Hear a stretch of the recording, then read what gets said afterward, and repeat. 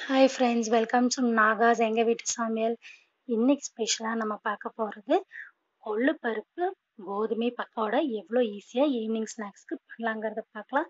நம்ம வீட்டில் மிச்சமான கொள்ளு பருப்பு குழம்பு வச்சு மிச்சமாயிருக்கும் இல்லையா? அதை நம்ம ஒரு பாத்திரத்தில் சுண்டை வச்சுக்கலாம். சுண்டை வச்சா இந்த மாதிரி கிடைக்கும். அது கூட வந்து நம்ம கோதுமை மாவு தேவையான அளவு நம்ம எடுத்துக்கலாம்.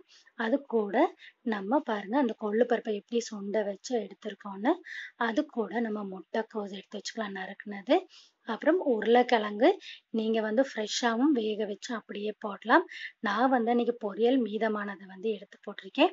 கரம் மசாலா தூள் வெங்காயம் பெரிய வெங்காயம் கார்ன்ஃப்ளவர் மாவு அது கூட நம்ம தேவையான இப்போ நம்ம அந்த கோதுமை மாவு தேவையான அளவு கூட கொஞ்சம் தேவையான அளவு உப்பை ஆட் பண்ணிக்கிறோங்க. உப்பை நல்லா ஆட் பண்ணிவிட்டு அது கூட வந்து ஒரு ஸ்பூன் வந்து நம்ம ஆயில் ஊற்றிக்கலாம் அது கூட நம்ம தண்ணி ஊற்றிக்கலாம் ஒரு சிலர் வந்து அதை டைரெக்டாக வந்து போட்டு மற்ற இன்க்ரீடியன்ஸ் போட்டு கலப்பாங்க. நான் வந்து கொஞ்சம் இப்போ மாவு ஸ்டேஜ்க்கு கலக்கிட்டு அது கூட நம்ம வந்து கோதுமை மாவு பதத்துக்கு கலக்கிட்டு அது கூட ஹாஃப் டீஸ்பூன் மஞ்சத்தூள் ஆட் பண்ணுறேன் அதுக்கப்புறமா நான் வந்து ஒரு ஸ்பூன் மிளகாய் தூள் ஆட் பண்ணுறேங்க அதுக்கப்புறமா அந்த ஸ்பைசினஸ் வரணும் இல்லையா? அதுக்காக நான் கரம் மசாலா தூள் அது கூட ஆட் பண்ணியிருக்கேன் இப்போ நான் ரெண்டு டு மூணு ஸ்பூன் வந்து கார்ன்ஃப்ளவர் மாவு அது கூட ஆட் பண்ணுறேன் நீங்கள் தேவைன்னா கொஞ்சம் அரிசி மாவை கூட இன்னும் ஆட் பண்ணிக்கலாம். இப்போ பார்த்தீங்கன்னா நான் நறுக்கி வச்ச முட்டைக்கோஸை வந்து அது கூட ஆட் பண்ணிக்கிறேன். அது கூட ஆட் பண்ணுறோம் நான் ஆல்ரெடி வேக வச்ச மீதம் இருந்த உருளைக்கிழங்கு எதுவுமே வேஸ்ட் ஆகாமல் அதையும் ஆட் பண்ணிக்கிறேன். அதே மாதிரி கொள்ளு பருப்பும் நான் மதியம் வச்ச குழம்ப சுண்ட வச்சு அதையும் இது கூட ஆட் பண்ணிக்கிறேன். அதனால நீங்கள் தரைய தண்ணி ஊற்றணுன்ற இது கிடையாது. இதையெல்லாம் போட்டு அப்படியே நம்ம மிக்ஸ் பண்ணி வச்சு பாருங்க. அதை வந்து நல்லா மிக்ஸ் பண்ணதுக்கு அப்புறமா நல்ல ஒரு வந்து அந்த பக்கோடாக்கெல்லாம் நம்ம பிணைவோம் இல்லையா? அந்த ஸ்டேஜுக்கு எப்படி வந்துருச்சுன்னு பாருங்க. இப்போ நல்லா சாஃப்டாக ரொம்ப ஹார்டாகவும் பிணைஞ்சிடாதீங்க. இந்த ஸ்டேஜுக்கு அந்த பிறகு நம்ம எல்லாத்தையும் போட்டுட்டு அதுக்கப்புறம் தனியாக ஒரு பேன் வச்சு அதில் ஆயில் ஊற்றி அந்த ஆயில் வந்து நல்ல ஓவர் ஹீட் ஆகாமல் ஒரு மீடியமில் நல்ல ஹீட் ஆனதுக்கு அப்புறமா நம்ம நம்ம துண் அதை பிணைஞ்சு வச்சுருக்கோம் இல்லையா? அதை கொஞ்சம் கொஞ்சமாக கொஞ்சம் கொஞ்சமாக நமக்கு எந்த ஷேப்பில் வேணும்னாலும் போட்டுக்கலாம். நம்ம பக்கோடாங்கிறனால அது அன்ஷேப்பில் நான் வந்து இப்போ கொஞ்சம் கொஞ்சமாக போட்டு எடுக்கிறேன்.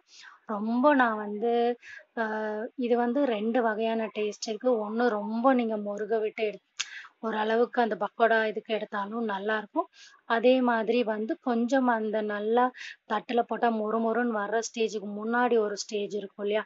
அது எனக்கு ரொம்ப பிடிக்கும். கொஞ்சம் சவு சவுன்னு இருக்கும். அதுவும் வந்து ரொம்ப நல்லா இருக்கும் ஏன்னா அதுக்குள்ள அந்த முட்டைக்கோசு இருக்கு இல்லையா? முட்டைக்கோசு வெங்காயம் அதுக்கப்புறம் அந்த கொள்ளு பருப்பு நீங்க அது சாப்பிடும் போதே பார்த்தீங்கன்னா ஒரு டிஃப்ரெண்ட் டேஸ்ட் இருக்கும். இதுக்கு முன்னாடி வந்து நீங்க கொள்ளு பருப்பு போட்டு சாப்பிட்ருக்க மாட்டீங்க. இதுல வந்து பார்த்தீங்கன்னா எதுவுமே நம்ம வீட்டில் இதுல நம்ம வீட்டுல எந்த ஒரு அன்னைக்கு சமைச்ச பொருள் எதுவுமே வேஸ்ட் ஆகாம குழந்தைங்களுக்கும் பிடிச்ச மாதிரி. பாருங்க ஃப்ரெண்ட்ஸ் எவ்வளோ நல்லா கோல்டன் ப்ரௌன் கலர்ல வந்திருக்குன்னு இந்த ஸ்டேஜில் நம்ம எடுத்துடலாம். அப்போ நம்ம தட்டில் போடும்போது அந்த சவுண்டுக்கு அந்த அளவுக்கு அது வந்து நமக்கு அது ஒரு மொறுமொறு மொறு பாடாக இருக்கும்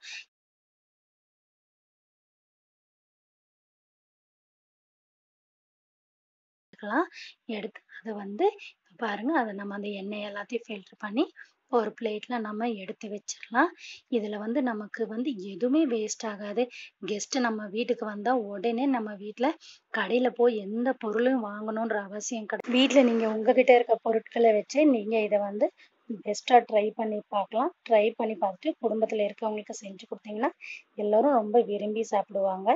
நீங்களும் என்னோட சேனலை பார்த்துட்டு லைக் பண்ணுங்கள் ஷேர் பண்ணுங்கள் மறந்துடாதீங்க ஃப்ரெண்ட்ஸ் கண்டிப்பாக சப்ஸ்கிரைப் பண்ணுங்கள் Thank you friends. Thank you for watching this video.